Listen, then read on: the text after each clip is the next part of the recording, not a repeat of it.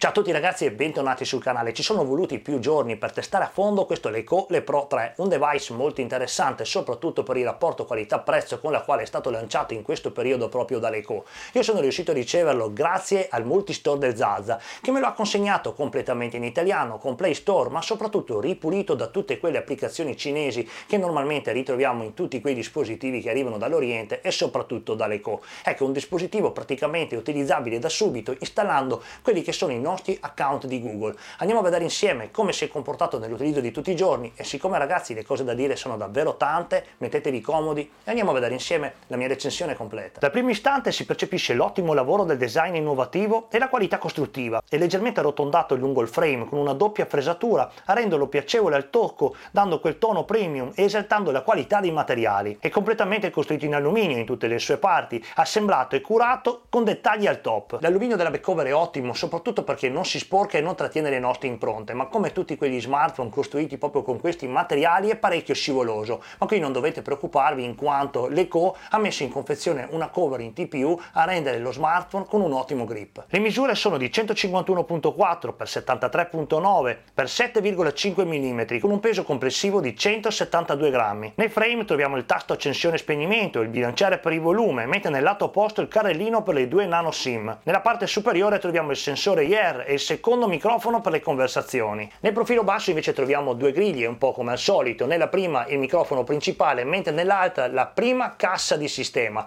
L'attacco centrale tipo C riesce a ricaricare lo smartphone con la tecnologia Qualcomm 3.0. Ho visto l'assenza del jack 3.5, possiamo utilizzare l'adattatore che troviamo in confezione per ascoltare la musica digitale con le nostre cuffie. Ma è proprio nel comparto musicale che ho perso un po' più tempo, ho voluto testarlo a fondo in quanto me lo chiedete spesso. La qualità dell'audio, soprattutto paragonato ad ad altri smartphone che posseggo è veramente ottima, tantissimo volume ma soprattutto bilanciato, con la possibilità di equalizzarlo proprio grazie al software all'interno di questo Leco Le Pro 3, quindi per quanto riguarda il comparto audio in cuffia promosso. La batteria è un altro punto forte di questo smartphone, 4070 mAh, visto il peso e lo spessore dello smartphone è sicuramente un ottimo lavoro. Dura circa 5 ore e mezza in utilizzo completo di 4G o 3G senza toccare il wifi e ho superato oltre le 6 ore in utilizzo misto fra wifi e 4G.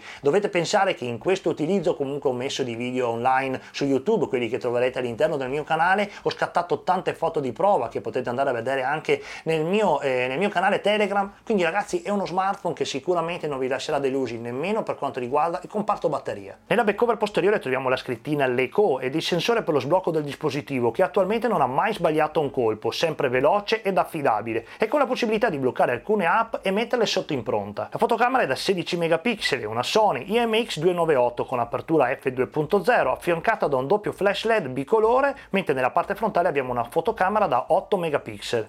L'interfaccia è facile ed intuitiva, con uno swipe permetteremo il passaggio fra le varie modalità o la scelta delle impostazioni. Le foto sono di ottimo livello, soprattutto con tanta luce riesce a esprimere il meglio, andando un po' in difficoltà quando cala l'illuminazione interna. I video sono di buonissima qualità, raggiungono la risoluzione 4K, ma è afflitto dal solito bug che avevo trovato su altri Deco. Non riesce a mettere a fuoco da solo, basterà semplicemente fare un tap sul flash e spegnerlo e comincerà a funzionare nuovamente e perfettamente il fuoco. Se volete risolvere poi eventualmente il problema, basta basterà cambiare applicazione e non usare quella nativa e tutto sarà a posto. Nella parte frontale troviamo un pannello con lavorazione a 2,5D perfettamente avvolto dal frame del dispositivo con un buon trattamento anti-impronta. Il display è un'unità da 5,5 pollici Full HD con tecnologia IPS, è buona la luminosità sotto la luce diretta del sole e ottima la riproduzione di colori molto naturali con possibilità di tararli. Perde un po' negli angoli di visuale quando lo metteremo in angolazioni estreme. Sono 10 i tocchi rilevati dalla nostra applicazione di test, infatti il display è molto reattivo e non sbaglia mai un colpo colpo anche quando scriveremo i nostri messaggi senza farci fare nessun errore. A completare la parte frontale troviamo la fotocamera da 8 megapixel, un ottimo LED di notifica e i vari sensori che funzionano perfettamente. I tasti di Android sono fuori dallo schermo retroilluminati con un dettaglio non da poco, la scrittina le è al posto del tasto home, bellissimo. A differenza di altri smartphone, questo Leco ragazzi ha la banda 20, quindi tranquilli, avete Wind, Vodafone, Team e nella vostra zona si utilizza proprio quella banda come succede qua a casa mia con Team, non avete nessun problema a beccare il 4G. La qualità del segnale segnale è sempre ottimo, infatti non ho avuto nessun problema e sono riuscito a mantenere le conversazioni anche in zone limiti, soprattutto nel mio garage, quindi ragazzi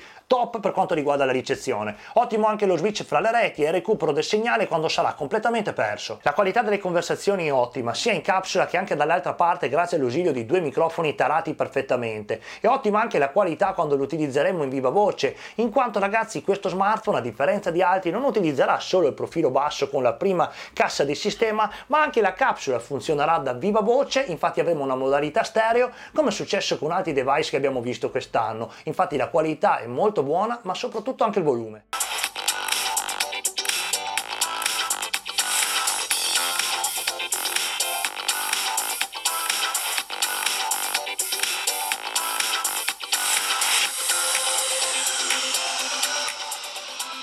A completare la scheda tecnica abbiamo un Wi-Fi dual band che è veramente potente, un GPS con dei fix ottimi e completano poi NFC, Bluetooth 4.2 e addirittura la funzione OTG. Grazie al multistore del Zaza lo smartphone è arrivato con l'ultima versione del firmware disponibile, pulita da tutte le app cinesi e completamente tradotto in italiano, con tanto dei Play Store per essere pronto all'uso. È basato sulla versione 6.0.1 con le UI 5.8.017 stabile. L'unico neo se vogliamo di questa versione firmware è che mancano gli aggiornamenti via 8 pilota, quindi non potete farli con il wifi ma dovete scaricarvi degli zip che troverete nel link qui sotto al video. Ecco ragazzi, poi se vorrete potete chiedere al multistore del Zaza di farvi inviare il smartphone in inglese e cinese con tutti i pro e contro del caso. Tutto si muove alla grande, l'interfaccia è quella di Leco con la sola differenza del tasto centrale che qui è la rubrica, mentre in quella originale troveremo la TV cinese. Resta l'ottimo multitasking, a me piace davvero tanto, di Leco, con i vari toggle rapidi, la gestione della musica e le varie applicazioni da andare a chiudere a liberare la nostra RAM. Uno swipe verso il basso apre le nostre notifiche, una pressione prolungata del tasto home esegue uno screen della pagina, tenendo premuto il tasto indietro possiamo spegnere lo schermo, ma sono tutte opzioni settabili dal menu accessibilità. Ovviamente essendo un top di gamma ragazzi non possono mancare i numeri indispensabili per renderlo tale. Innanzitutto lo Snapdragon 821 che gira a bomba, 4 GB di RAM e 32 GB di memoria interna, nella versione che stiamo testando oggi.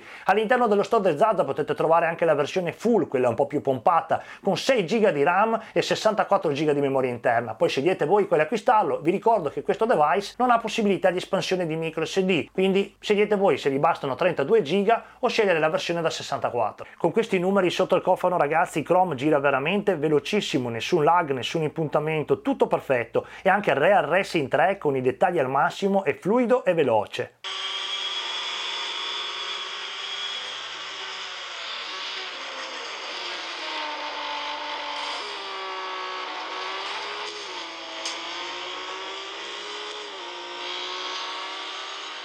Arrivando alle conclusioni ragazzi, come avete ben capito, anche questo device mi ha davvero tanto convinto. Ormai i cinesi non copiano più, ma creano e non mettono nemmeno device con un software non adeguato nel mercato. Infatti molte volte ci troviamo tra le mani dispositivi con un software migliore rispetto a tanti altri di quelle marche più blasonate che costano molto ma molto di più rispetto a questi. Bello nel design ma soprattutto curato nei minimi dettagli. Ottima la ricezione, ottima l'autonomia, molto buona la fotocamera, ma soprattutto un un audio in cuffia che spacca. Sicuramente uno dei difetti principali di questo device, che più che un difetto è un qualcosa di antiestetico, sono le enormi cornici che girano tutte attorno al display. Sono veramente brutte da vedere, ormai dovrebbero capire che a noi europei queste cornici non piacciono. Poi vabbè, come avete visto la fotocamera non riesce a mettere a fuoco da sola nei video, ma basterà cambiare applicazione o accendere il flash. È un bug di sistema, non è nemmeno un problema della fotocamera, ma è più a livello software. Speriamo che poi nelle prossime release venga sistemata anche questa cosa, o altrimenti altrimenti utilizzeremo un'applicazione di terze parti. Quindi ragazzi come avete capito in questi giorni è stato uno smartphone che mi è piaciuto, non mi ha mai dato nessun problema, non ha mai scaldato troppo, non ha mai avuto riavvii, è sempre stato veramente eccezionale. Quindi sì, se volete acquistarlo state tranquilli, è uno smartphone che non vi lascerà delusi. Io credo di essere proprio arrivato alle conclusioni ragazzi, quindi vi chiedo di mettere un bel like se il video vi è piaciuto, di iscrivervi al canale per vedere le mie prossime recensioni e se volete potete andare a vedere anche la mia pagina Facebook oppure il canale Telegram per vedere le fotografie fotografie a massima risoluzione di questo device. Noi ci vediamo tra qualche giorno per un'altra recensione. Ciao a tutti!